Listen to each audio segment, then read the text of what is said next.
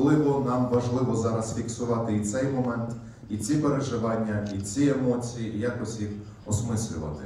І звісно, хто це робить найкраще, це звісно письменники. Зараз дуже багато жартую, бо це єдиний спосіб якось триматися. Я взагалі займаюся зараз документуванням воєнних злочинів.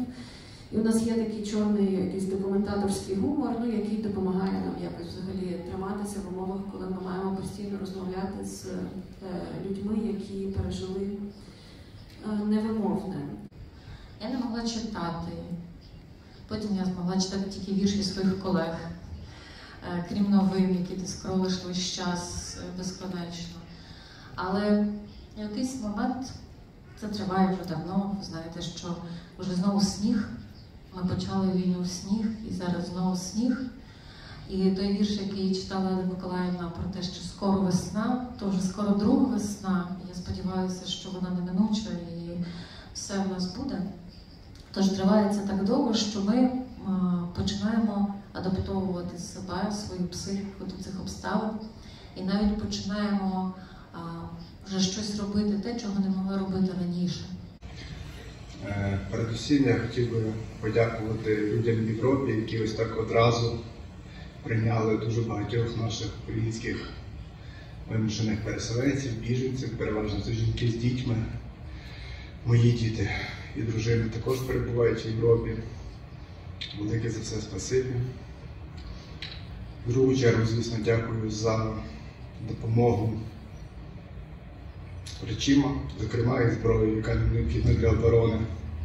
Ми, звичайно, тут хотіли би, щоб не нам це довелося робити, але є відчуття, що саме нам випало боротися не тільки з російським імперіалізмом, але також і з поширенням авторитаризму проти поширення авторитаризму в Європі і в світі. Катерина Калитко. Отче наш сущий, в серцях неоперених, у стягнутих дротом руках, у засохлій глині під нігтями, у ключих дошках, із яких збивають хрести. Хай святиться кожне ім'я віднайдено, кожна пожежа болю над краєм ями, кожен жовтий клапоть з шкіри. І той боєць, що довго блює під соснами, а тоді повертається і копає. Нехай прийде наше військо, нехай прийдуть люди в білих комбінезонах, нехай прийде Міжнародна прокуратура, нехай прийдуть наші невтішні рідні. Нехай буде на землі, на небі, тісно від нашого мовчазного крику. Видно на три покоління вперед у чесному світлі ненависті.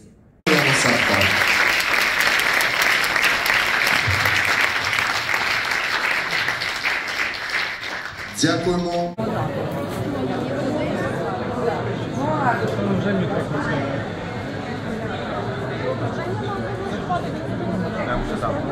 Так, єдине, що у нас прибіглися свій.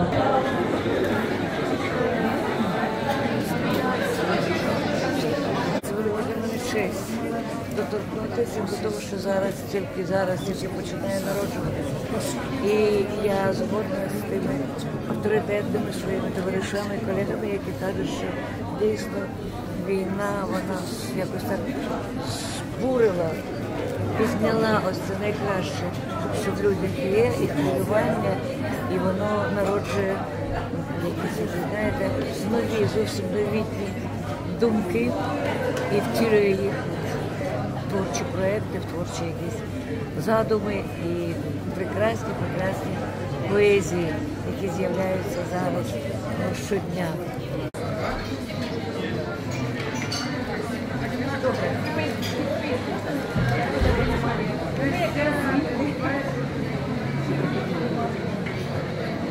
Ну, потрібно розуміти, що це перший найтяжкий, найсвіжіший і найчесніший е, досвід е, словесний після початку цієї повномасштабної агресії. Це перші тижні, то що писалося, щоденникові записи, це тексти, що не могли не з'явитися. Це сама душа народна писала. Я коли ці тексти читав, я ж я казав, та я плакав. Да? Але через ці тексти я усвідомлював, що ми всі разом, що це війна всього народу, що ми всі в різних куточках. Ми виконуємо ту, в тому числі дуже важку і важливу роботу серця. Ми фіксуємо те, що відбувається. Для самих себе і для тих, що, що підуть за нами, для тих, що живуть в Європі, на і для західного світу, котрий може не знати, що нас насправді не вірити е, новинним якимось сайтам. Але це конкретні історії конкретних людей. За кожною цією людиною стоїть особистість і е, життя, і досвід. Їм не можна не вірити.